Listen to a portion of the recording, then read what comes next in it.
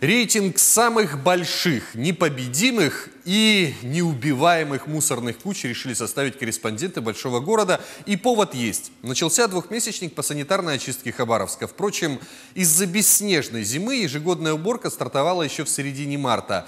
Планы составлены, но Ирина Забродина решила внести в них коррективы и прогулялась вдоль самых-самых. Итак, начнем с третьего места. Переулок Ванкова. Этот двор регулярно утопает в мусоре. Жители вот этих домов говорят, что проветрить комнату нереально. Тут же начинаешь затыхаться от вони. Вот жестокий оператор меня специально загнал в логово мусора ради красивой картинки. Я вот чувствую, что тоже начинаю задыхаться. Сотрудники управляющей компании «Любимый город» пытаются бороться с мусором, но говорят, что она как змей Горыныч. Срубаешь одну, тут же на ее месте вырастает две кучи мусора. Вот тут случайно возле помойки оказался кто? Здравствуйте, меня зовут Подлитов Андрей, я член Коммунистической партии Российской Федерации, нашего Хабаровского отделения. Как здесь оказались? Вот я правда удивлена. Мы контролируем, получается, то, чем мы занимаемся, то есть постоянно ездим по людям, спрашиваем, какие у них проблемы. Здесь получается вообще системная проблема, то есть один раз ее вывезут, эту свалку, и она не решится.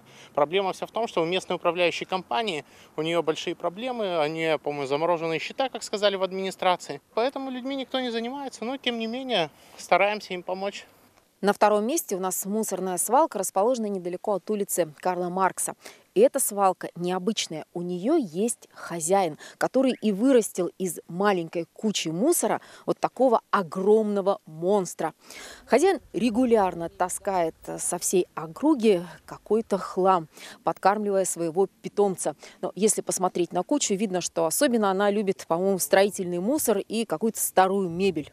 Поскольку этот монстр захватывает все больше и больше территорий, соседи обратились за помощью в администрацию железнодорожного района. Администрация железнодорожного района на помощь пришла. Вооружившись ручкой и протоколами, они регулярно штрафуют владельца мусорной кучи. Но магия штрафных 500 рублей на него не действует, и монстр продолжает расти как на дрожжах. Каждый день смотрите, да, на вот это? Но неужели это один человек натаскал все? По информации администрации железнодорожного района Хабаровска, как бы все это один человек. Мысли есть, конечно, люди. Все строятся, ремонтируются, похоже. Часть свалки увидели еще лет пять назад, все сюда начали свозить. Сюда надо, наверное, подключать и природоохранную прокуратуру, потому что я с администрацией ЖД района по этому вопросу общался дней пять назад.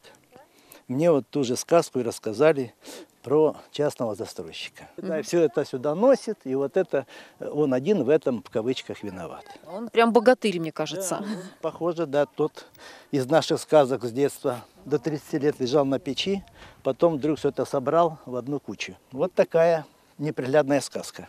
А первой в нашей тройке лидеров стала грандиозная помойка прямо в центре города. Настоящая медуза Гаргона. Видишь это зрелище и каменеешь. Это место уже возглавляло наш рейтинг мусорных свалок в 2017 году. С одной стороны современные высотки, с другой вторая краевая больница. Когда-то здесь стояли деревянные бараки. Их снесли, видимо, планируя построить что-нибудь поприличней. Но на деле оказалось, что освободили место для мусора. Местные жители говорят, что у этой мусорной горгоны уже есть своя армия. Целых три лагеря маргиналов здесь обитает. Но мы их искать не будем. 20 апреля в городе пройдет большой субботник. Местные власти надеются, что в нем примет участие более 50 тысяч хабаровчан. Планируется разобрать свыше 80 свалок. Интересно, а есть ли в большом городе богатырь, который победит этих мусорных монстров? Ирина Забродина, Семен Сахно, Большой город Live.